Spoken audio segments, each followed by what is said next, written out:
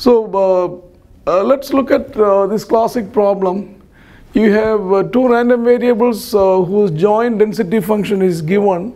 So this is actually given to us. And the problem is find the density function of uh, the sum of two random variables.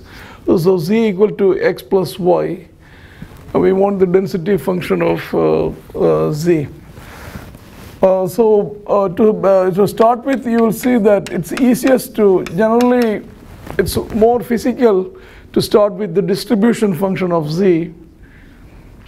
And so the distribution function is by definition z less than or equal to small z. But capital Z is given to be x plus y. This is where we start. So x plus y less than or equal to z.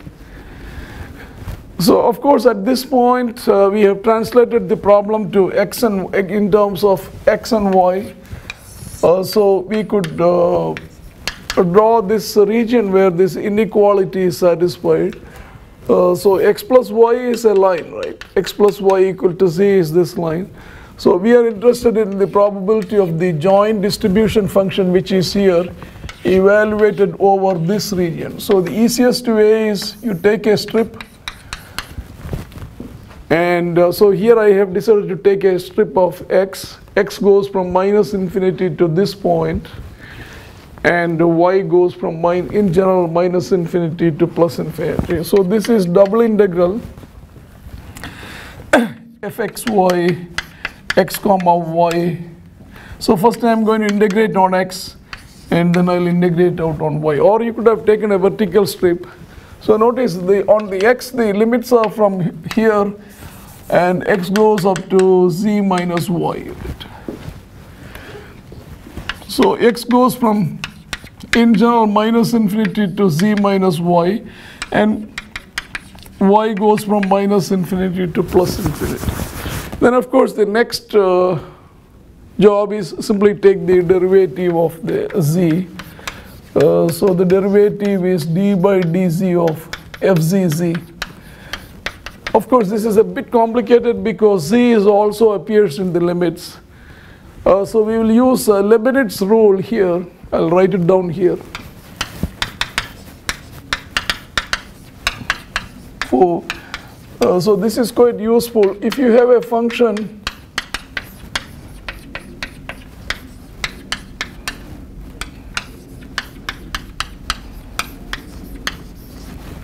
Uh, so notice that I purposely put uh, it's a function of x in on the limits as well as the integrand. So what we are interested is taking the derivative of h with respect to x. So the rule is you can derive this uh, just using elementary calculus. Take x plus delta x and manipulate it. So rule it will turn out to be that take the derivative of the top limit, which is uh, dB by dx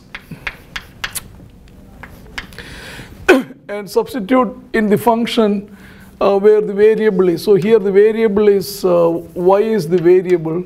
So the limits goes in here. So this is going to be g of x comma bx. Uh, do the same thing on the denominator but with a negative sign. So this will be d by dx of uh, ax and substitute the uh, limit which is x at this place which will be ax now and there is a third term which would be the limits are stay as they are. And the inside as usual the inside uh, integrand is uh, you take the derivative with respect to x. So in our case of course the top limit is uh, of course if the any one of the limits is zero there is no contribution. So if you apply that here so I'll write down here write it down here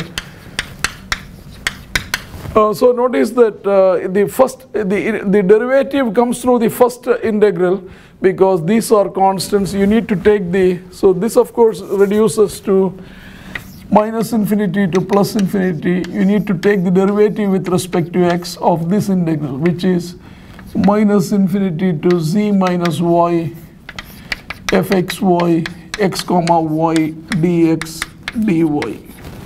Uh, so here applying this rule you have the derivative of the top limit which would be 1 then of course the in this case the the variable is x, so this will be 1 multiplied by fxy z minus y comma y minus the derivative of the bottom limit which is 0 here because it's a constant.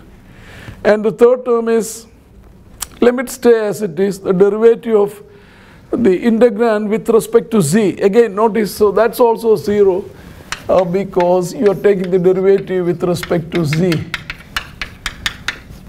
so this goes to 0 so essentially there is only one term. But notice that there was the other integral is there. In other words, this is this part. So then you have the integration on y. So the whole thing multiplied by dy. So I would so this turns out to be minus infinity to plus infinity fx y z minus y comma y dy is the answer for FZZ. Now uh, if x and y are, uh, so this is in general, suppose now uh, x and y are independent. Uh, then we have the side relation. The joint density function is, of course, the product of the density functions, fxx multiplied by fyy. So if I substitute that, in this case, this would become fx of z minus y uh, multiplied by f y y dy. Now this is the classic convolution relation. So we could write this as the convolution of fx at uh, z convolved with uh, fy at z. So we have a uh, uh, we have a theorem. Theorem says that uh, if if x and y are independent, uh, then the density function of the sum is the convolution of their respective density functions. So remember this convolution only is true uh, if the x and y are independent. So let me write that a little more uh, clearly.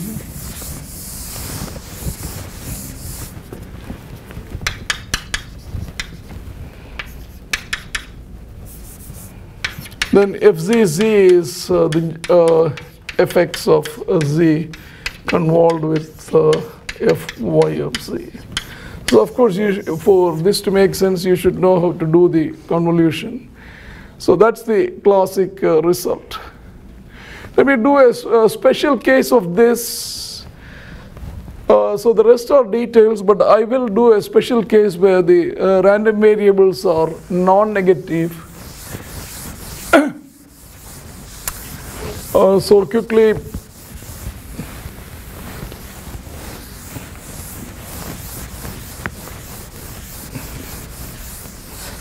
So that will be the case, suppose x and y are exponential or things like that. So it's still the same problem.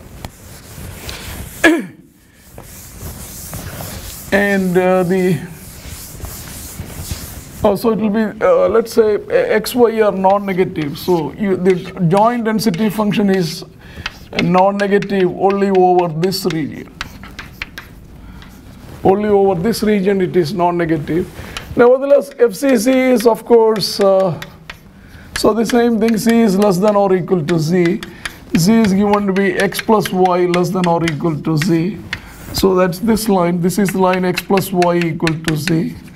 Uh, so x plus y less than or equal to z is only this region because the density function is 0 here. So we basically needs to integrate here.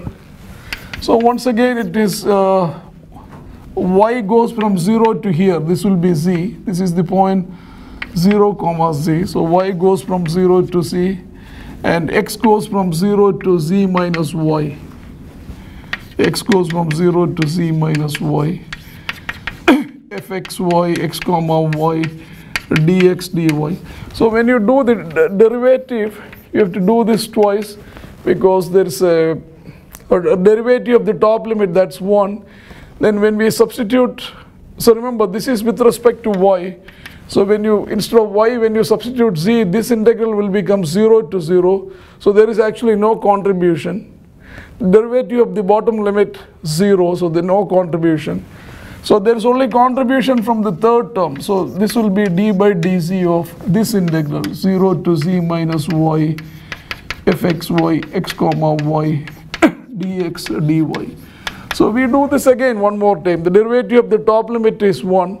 Substitute the variable into the variable. So this will become fx. So this will become 0 to z fxy z minus y comma y Derivative of the bottom limit 0, no contribution. Derivative of this term with respect to z, last term, no contribution. So basically this is the answer. Except that, so remember in the general case we had fzz to be minus infinity to plus infinity fxy z minus y comma y dy. But if xy if fxy is 0, if, if x is less than 0 or y is less than 0, uh, then in other words, if it is non-negative, fzz will turn out to be what we have here.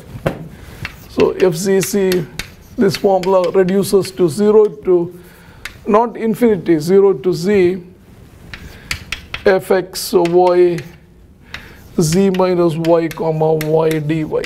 Of course, if x and y are independent, this would be fx of uh, z minus y and fy of uh, y dy. So this is the same as this if x and y are independent.